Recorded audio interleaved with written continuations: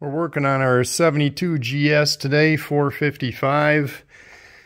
And a little tip about oil changing, which, uh, you know, being a Buick guy, I should have thought of it.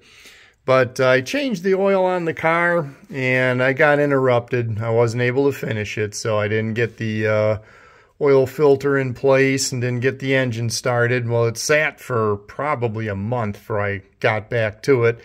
And yeah, the oil drained back into the oil pan and when I got the filter on there and filled it up with oil at no oil pressure.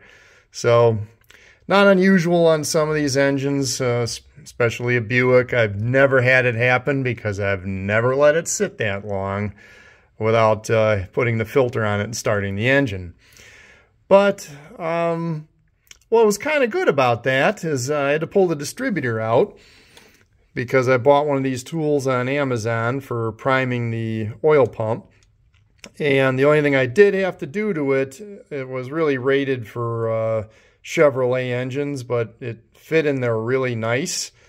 Uh, I'd, I'd, give you a link to this, but you know how that goes on Amazon. A year or two from now, the link's going to be dead because they just keep changing manufacturers or where they get these things made overseas.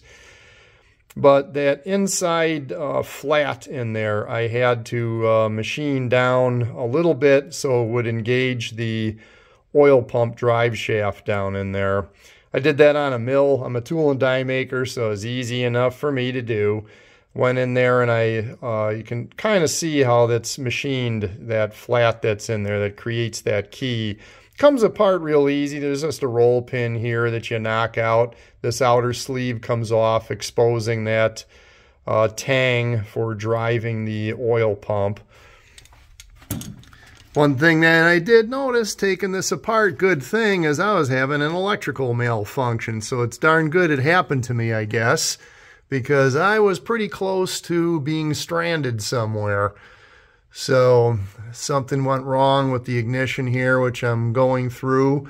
But uh, so sometimes they say a blessing in disguise because the insulator that sits on top of here was all skewed and everything. So I had it into a shop here and there, and I don't know if someone had this apart and didn't put it back together right. Uh, the insulator wasn't in the right place, was slid off to the side. So I, I'm not quite sure what's happened here. But driving that oil pump, you know, you can see the, uh, oh, there you go. You can see it real easy. The tang that you have to engage down in there for driving the oil pump. This tool fits in there really nice. Just engage the pump and put your, I just used a uh, cordless drill motor clamped on here and rotate. It was reasonably fast. It was a DeWalt. I got one, two, three. Uh, setting number two was good enough for me to start to see oil pressure climbing on my gauge inside the car. So now I'm ready to fix this distributor and get it back into the engine here and start her up. The distributor here I've been working on, you can see I can't even believe this engine was still running. Look at the bottom of that coil, it's just toast. Here's that insulator I was talking about that was not in the right place. It was like slid off to the side. Rotor, yeah, it's not looking so good either. But I was able to get some parts here and I'm putting together the uh, new distributor setup, cap, coil. I really liked my old Mallory that was in the car at one time and that's what melted down. Well, these aren't even available anymore. So I'm putting together a different system here. I got the coil from Napa and I got a cover plate goes on there. That's going to fit real nice. Not going to look as slick as I guess the Mallory used to look, but it'll do the job. Make sure you got your ground in there. You know, this ground strap that's down in here. I got one laying off on the side. That's something people miss. And here's this ground wire coming off the coil. That ground strap goes underneath the coil and creates a grounding system to the tang that's part of your plugins that uh, are part of the system when you snap everything back together. New rotor. I'm working on the actual distributor itself because I was messing around with that. I did find that the parts that were in there uh, don't really look that good. So I had uh, some of the plastic connectors were cracking and things. So I've got a, a new one that I'm going to be putting in there. So it was a good time to go through everything. Uh, with what the distributor went through with the meltdown, uh, I'm also going to be replacing some of the other items inside. Here we're looking at the module wiring harness here. We're going to be putting a new module in also. The uh, old one, yeah, I kind of mentioned a little bit earlier, was getting cracked and the wiring just looked pretty tired. This distributor is new in about 2001, so yeah, that's enough years to cause it to start to break down some of this stuff. But I was able to get a uh, GM unit here that's all included. So this uh, actual uh, mount and everything is all built right in and it slides into the housing, which I'll show you in a little bit. But it's kind of a slick little unit here. I got this, uh, it's an AC Delco product. Actually, got it on Amazon. Real fair price. And I got the little mounting screw sitting off to the side that mounts the uh, little, uh, gee, I think capacitor. I'm not an expert on this stuff. I'm going to tell you, I'm a shade tree mechanic. So if you're looking for a General Motors authorized wrench, that's not me. But I've been working on this stuff since these cars were almost new. So, yep, I've been around for a few years, so I'm quite familiar with this old stuff. I got this module from Napa, and it's still made here in the States, an Echlin unit, which is kind of why I would always try to buy my stuff from them. Uh, the coil, they used to be made here in the States, but not anymore. You know, it's a uh, Napa coil, but it's made in China. But a lot of these older parts now, that's kind of what you have to live with. Getting harder and harder to find this stuff made domestically. Before putting the module in the distributor, you want to put a uh, thin coat of thermal grease on the bottom of the module here.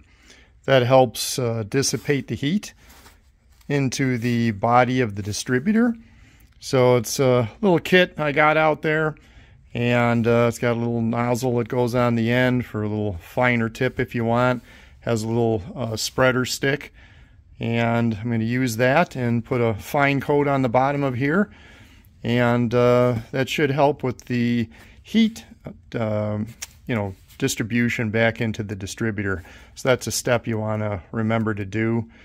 And uh, it's kind of a helpful thing because uh, the distributor may not be perfectly flat on its mounting surface. Uh, this may not be perfectly flat. And the idea of this thermal grease is it's supposed to kind of even out the uh, contact surface for heat distribution underneath the module. We have the module now mounted in the distributor plugged in, put a little dielectric grease on the terminals. And yeah, this is a really nice little unit. Fits right into the distributor, nests right into this little opening on the side, little notch. And there's the little screw holding the capacitor down. Fits in there really nice. Kind of nice little plug in there to go into the distributor cap. So the distributor's still in good shape. You know, I could go nuts trying to clean it all out, uh, you know, pull the whole thing apart, try and make it perfect. But uh, I put a little bit of money into this distributor. When it's done, I might have oh, 80 bucks, 100 bucks into repairing it. Uh, if it needs any more along the way here, I'm just going to buy a new distributor. But this thing should give me quite a few years of service for especially for the amount that we drive this car. It is not an everyday driver. Cap is put together now. Got the dust cover on there. It's ready to go. Going to get the distributor into the engine now. And I had made a few marks on the distributor housing and the engine block, a few other marks to reference. So when I drop it back down in there, I should be okay with my timing. If not, I, I know how to work around that. So we'll get the distributor in and uh, get this thing brought back to life. Putting the distributor back in is pretty easy. As long as you set yourself up properly in the beginning, I'd mark the housing. You can see down there, I've got a mark. Uh, let's get my finger in there. I've got a little Sharpie mark there to kind of help me locate the housing with the uh, front of the engine there, where the distributor goes into the hole. And what I had done is I had taken pictures of the distributor so I could actually use reference marks, reference points. Uh, I can see like this tab where it is. It's just barely, uh, you know, south, if you will, of the screw. And a couple other, you know, markers in here that help me visually see where I'm at, reference points. So when I drop the distributor back in, I line up that Sharpie mark.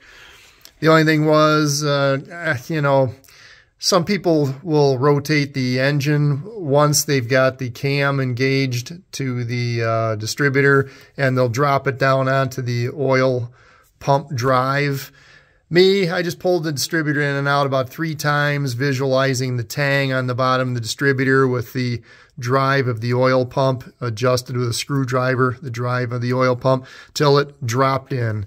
A little bit of a pain, but like uh, I've done it a few times over the years. It only took me three times to make that happen. I didn't have to bother rotating the engine. So we're going to move on to the uh, final assembly.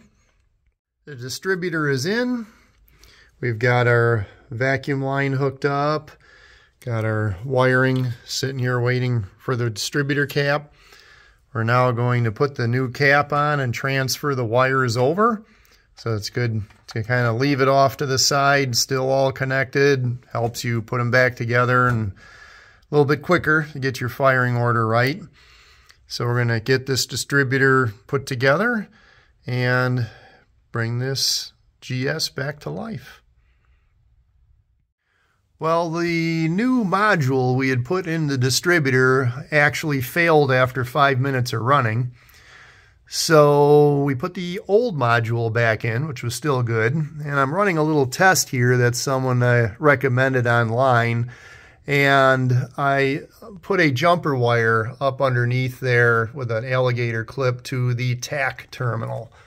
You know, it says tachometer, might be visible there.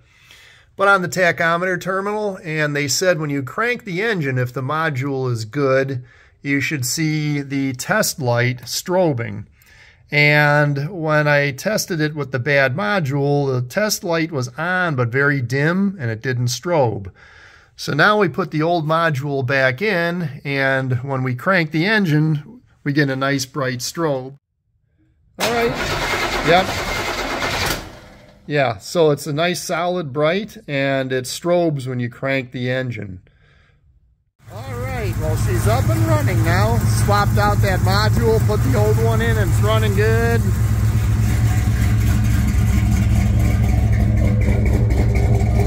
Bring on springtime.